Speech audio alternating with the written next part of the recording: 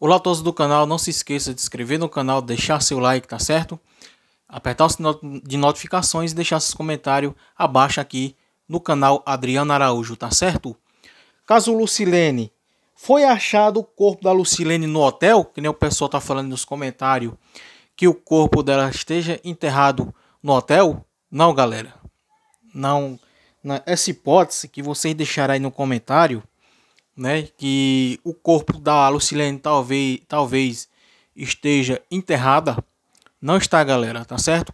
É, na noite que ela sumiu, né, que teve aqueles gritos da câmera de segurança que mostra ela gritando, ela naquele dia ali, ela foi, ela foi retirada do hotel e para aquele ponto da, da olaria onde marca o GPS do Vanderlei através do celular que ele passa na avenida e que ele fica naquela localidade onde teve vestígios do corpo que foi encontrado da Morgana, tá certo, galera? Então, essa hipótese já foi descartado, a polícia já fez a perícia, já vasculhou tudo no, no hotel, já foi feito toda a perícia, né? Foi feita toda a perícia ali naquele local, lá nos fundos, no muro, nas paredes foi feito toda a perícia foi averiguado e isso aí fica descartado que o corpo da Lucilene não esteja ali no, no ali no, no, hotel enterrada, tá certo, galera?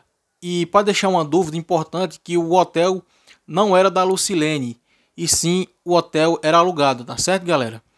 É, para vocês que pensam que ela, a Lucilene era, era, dona do hotel, ela não não era o, o a casa que era feito o hotel não é, não é da Lucilene e sim alugado, né? Ela pegou, alugou essa casa e fez ali um hotel, né? Tipo uma pousada, hotel pousada.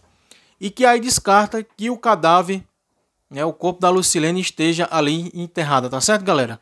Foi descartado que não tem vestígios de cadáver nenhum, tanto nas paredes, que foi verificado pela polícia, e no muro do hotel, tá certo?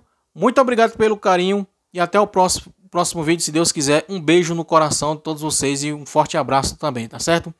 Muito obrigado e até o próximo vídeo, se Deus quiser. Tchau, tchau.